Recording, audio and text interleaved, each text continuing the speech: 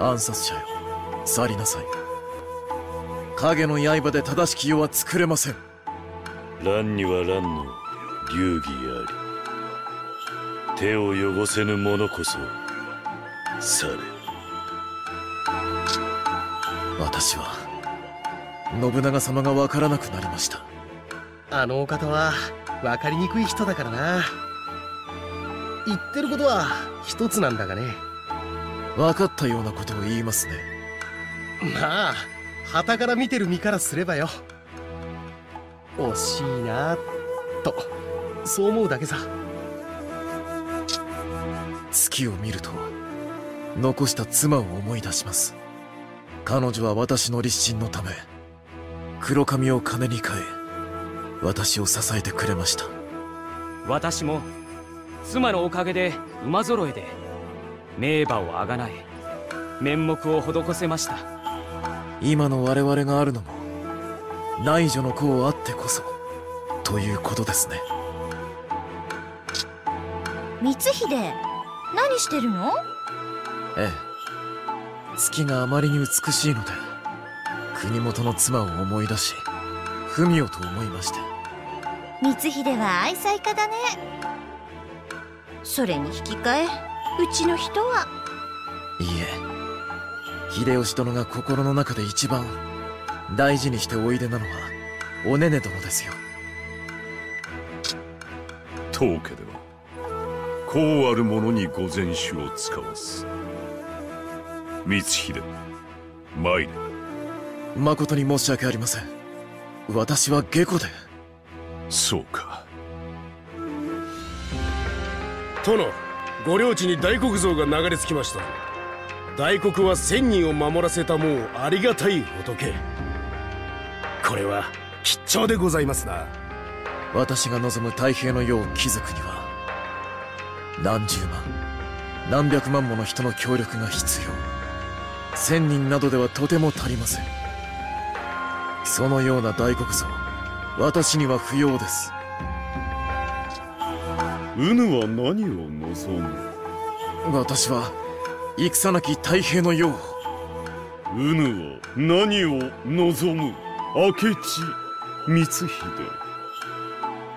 信念太平宿命一切の言葉を捨てよ。うぬは何を望む？光秀。この戦いを生を教じようぞ久しぶりね光秀。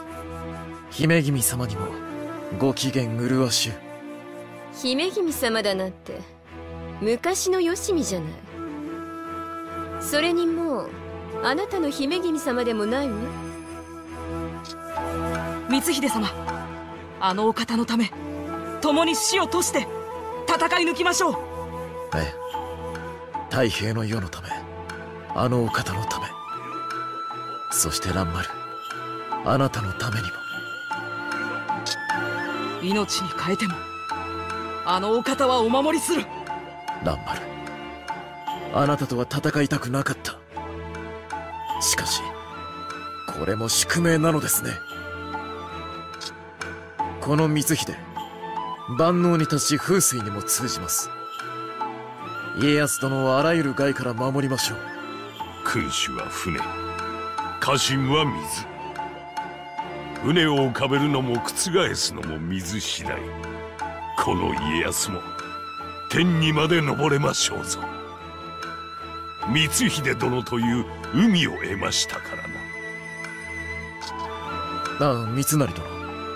例の件なのですが。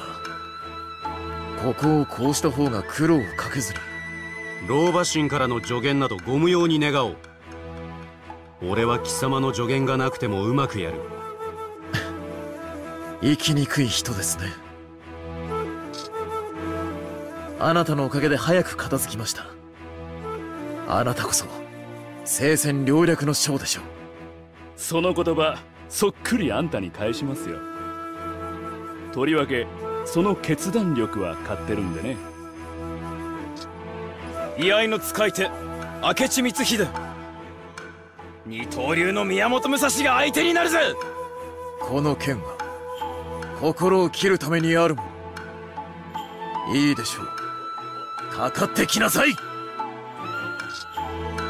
勝家殿は能力があるゆえこなせているがあまり正面からことに当たるのは非効率。正々堂々が柴田の流儀よ次で逆白顔で差し出口無用私の望みはこの戦国乱世の終結。それを成し遂げうる主を求めそして信長様にその器を見た。信長様ならいや誰の手であろうと乱世が終わり民の苦しみに終止符が打たれるならばと。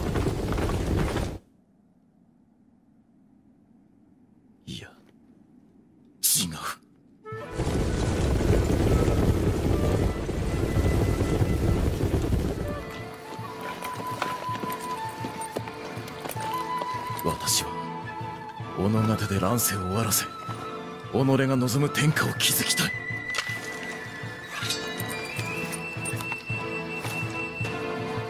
敵は本能寺にあり